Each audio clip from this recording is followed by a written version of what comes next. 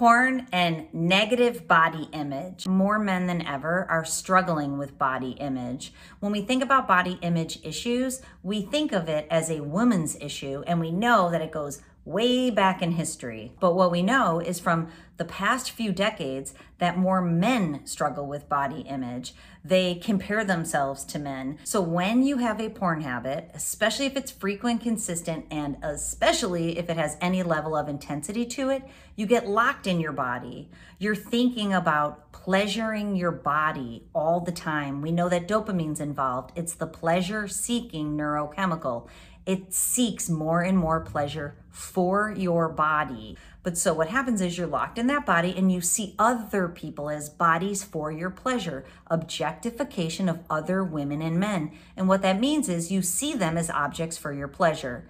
That's what happens from a porn habit.